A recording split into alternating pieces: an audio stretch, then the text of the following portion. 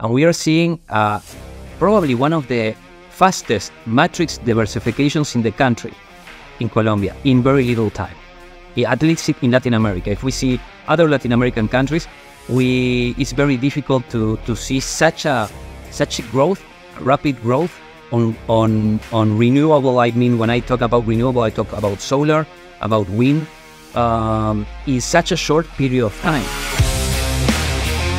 Welcome to Why Colombia, the podcast where we dive into the real stories of those who have taken a chance to invest in Colombia and have come out on top. I am Julio Cesar Puentes, Vice President of Foreign Investment at ProColombia, and together with the Ministry of Trade, Industry and Tourism, we are thrilled to invite you to join us on this journey of discovery.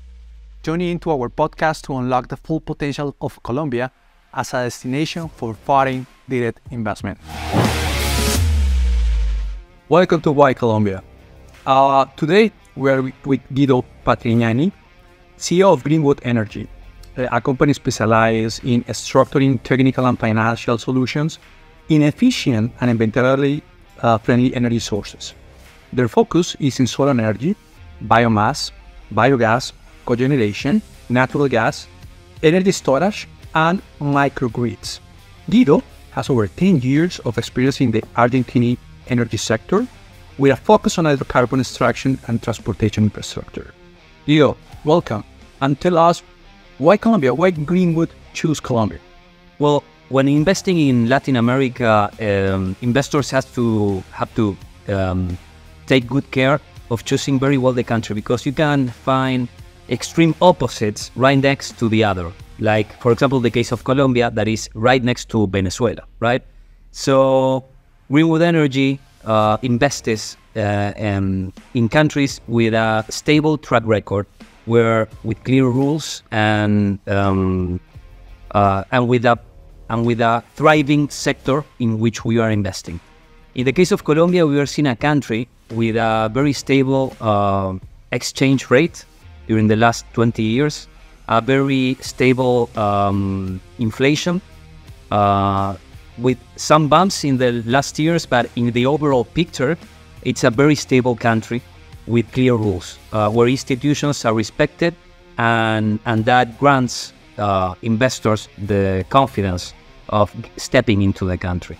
So basically, it was a natural, um, a natural decision when when analyzing the whole region of Latin America. Colombia is one of the most stable and serious countries in the continent. Wonderful. Uh, would you mind to take uh, to share with us a little bit more about uh, the project that you are doing in Colombia? Well, in Colombia, we are um, moving forward with um, with three different projects. Uh, being the largest and the most important one in the country, our Terra Initiative. Terra Initiative is the largest solar project ever developed with an indigenous community in South America. It involves 160 megawatts uh, of solar energy. But what makes the project completely different to any other uh, solar project is basically its environmental and its social impact. In this case, the Terra Initiative, developed jointly with the Arhuaco indigenous community, uh, will provide um, the construction of three new indigenous towns for the Arhuaco people that will give a housing solution to nearly 150 families, which represents roughly 1,000 indigenous people. But also, these towns, which will be built right next to the to the solar plants, um, will uh, provide uh, the indigenous people with skilled jobs because living right next to the solar plants make them the ideal workforce for the operation and maintenance activities of the solar plants. So we are training the indigenous inhabitants of the Terra towns so they can provide this uh, service on site and they can uh, basically grow in their in their education from the renewable energy uh, sector.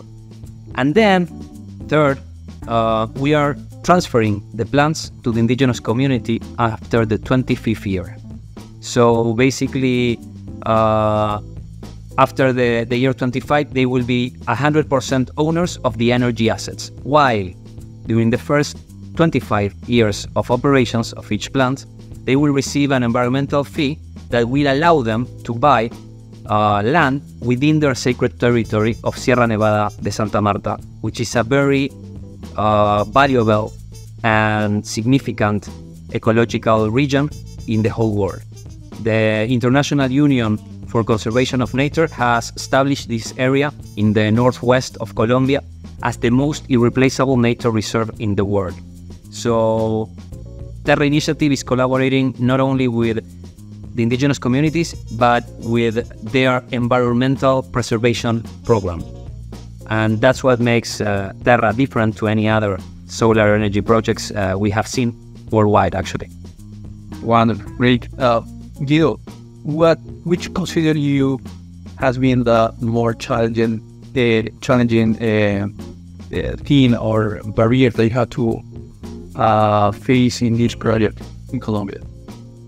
Well, um, in general terms, doing something that doesn't have any track record anywhere in the world, uh, because we look something, you know, for something similar we could follow, and we couldn't find anything. But basically, we are opening the path.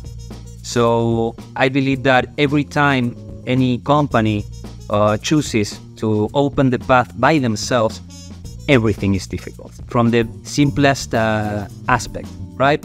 Uh, in this case, it has been the mindset, the mindset of, of, of our partners, the mindset of the community in general, of the government, because everyone is used to another type of projects. So once we have built with the community the whole project, they have to explain it. Their leaders have to explain it inside of the community. We have to explain it, you know, uh, basically to our partners uh, and and then to the government. So explaining it uh, and, and showing what how different it is to any other project, it's probably the biggest challenge we've we've faced with this project. Thank you, Guido. Why do you don't share a little bit more about how is to work with uh, indigenous community in, in, in Colombia? How, I mean, tell us about that experience. Well, um, just to be frank, I haven't seen any indigenous people while living. In, I'm from Argentina. While living in Argentina, my first engagement with indigenous community has been in Colombia, and and it has been a complete, you know, surprise. Uh, and I will talk about the Arhuaco people in particular, which are our partners, right? Um, the Arhuaco people uh, call us the elder brothers. And, and actually, when I started understanding how they live, how they treat each other, how they work together, um, I start understanding uh, why was that? Why they are the bigger, uh, the elder? Uh, why the, they are the elder brothers and we are the younger brothers? Um, they have a culture which is very difficult to to align to any known culture uh, because sometimes you may find certain things that that can be similar to Buddhism, for example, or but it, there's something unique, completely unique about their wisdom, their culture, their knowledge, and and and they believe a lot in dialogue, right? So the power of words. Um, when you have to decide certain aspects of the project, uh, we had to uh, arrange councils, or they arranged councils where uh, each each member of their side and our side talked and exposed the points, and and then and then we discuss each point. It, it was it has been a, a very nutritive and and deep experience working with indigenous communities, and and that's why we are very very happy to have developed a such a uh, important project with the community because this opens the door to other companies in other sectors, uh, not only to work with them, but to work with indigenous communities in Colombia. Because Colombia is one of Latin America's uh, largest countries in terms of indigenous population and, and diversity. That is very important. It's a huge diversity, and the government is, is has always done a lot, and now is doing even more to protect this diversity of the indigenous culture, which I believe is the most valuable asset uh, Colombia has in terms of culture. Well, Thank you, Guido. Um, last but not least, um, you are investing in a in a in a sector in Colombia that is that is really uh, or pretty uh, new in Colombia that is renew- renewable energy. Um, have you? Well, I mean, uh, Greenwood have seen Colombia as a potential destina- destination for renewable uh, investment uh, apart from the things that you're doing right now. Well, um, in terms of the energy sector, um, we need to bear in mind that Colombia, 70% of the of the matrix of uh, the energy matrix of Colombia is renewable, hydro, hydropower, 70%. The other 30% it's basically thermal, right? So Colombia has a clean matrix. What happened towards climate change? Um, they are the country is facing, uh, you know, certain risks on on on hydropower capacity, and and in terms of energy sector, Colombia has been also um, much responsible for the long term. So a lot has been done in the energy transition in the country, and a lot is going on in the energy transition in the country. And we are seeing uh, probably one of the fastest matrix diversifications in the country, in Colombia, in very little time. At least in Latin America. If we see other Latin American countries, we it's very difficult to, to see such a such a growth, rapid growth on on on renewable. I mean, when I talk about renewable, I talk about solar, about wind, um, in such a short period of time. Just in this in this uh, in this uh, bid we we've seen in this uh, last uh, bid carried out by the government, we've seen that 80% of the projects have been renewable, right? So so we see we see a, a rapid transformation, and that is only possible in countries where you have the you know robust robust institutions and clear uh, and clear rules. those are the keys to make any rapid transformation. Basically, because you have the base, the institutional base to do so.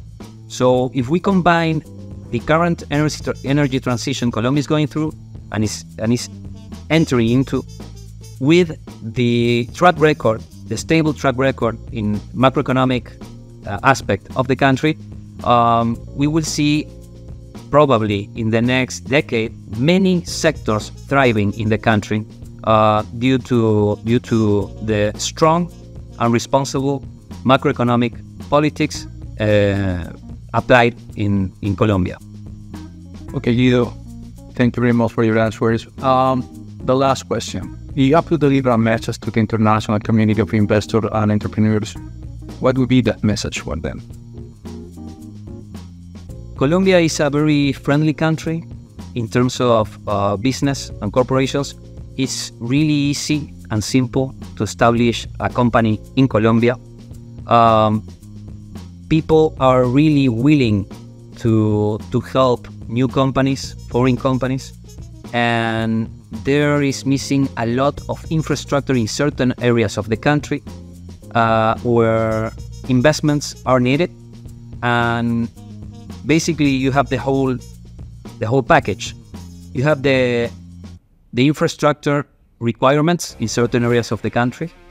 You have the macroeconomic um, robustness, long term, um, and basically you have a good reception from the government and the people of newcomers to the country. So I would recommend definitely to at least come to Colombia, visit uh, you know the country, the different uh, areas of the country, know its people, and and then uh, you can decide by yourself.